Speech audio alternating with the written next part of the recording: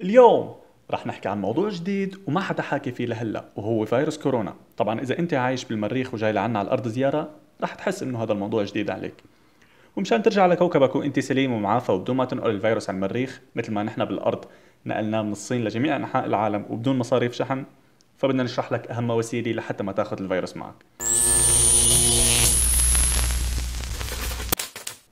اليوم رح نحكي عن غسيل الإيدين. أكيد رح تقول صراعته غسيل الإيدين بس اطمن هالمره جايب لك شغلة جديدة وما سمعتها من قبل.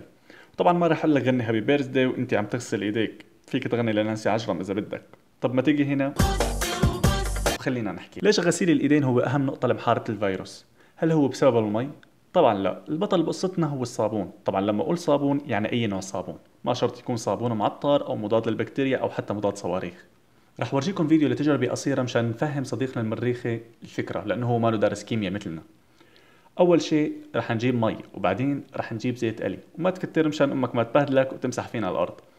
وبعدين نحط كمية من الزيت فوق المي مع رشة ملح صغيرة حسب الرغبة وحاول ما تورجي حدا هالمنظر ما علينا. مثل ما نكون شايفين المي والزيت ما بينخلطوا مع بعض بسبب تركيبة الزيت الدهنية. مهما حركت وحركت ما في أمل إنه ينخلطوا.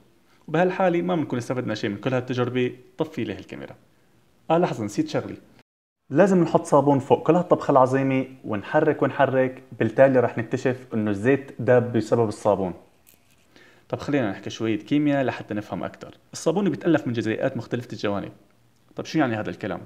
لحظة خليني أسأل الكاتب كاتب! كاتب!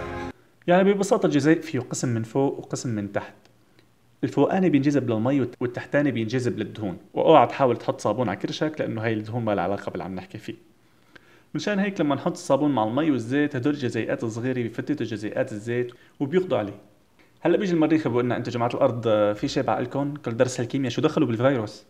راح خبرك. الفيروس متألف من عدة جزيئات بس هاي الجزيئات بتسبح داخل غلاف دهني.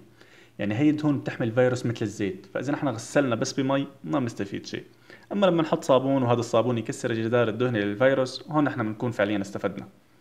لذلك عزيزي المشاهد غسل إيديك على الأقل لمدة 20 ثانية. على أي أغنية بتحبها. وإذا ما غسلتهم فاعلم ان الكورونا منعتك. للاربع الجاي بشوفكم على خير.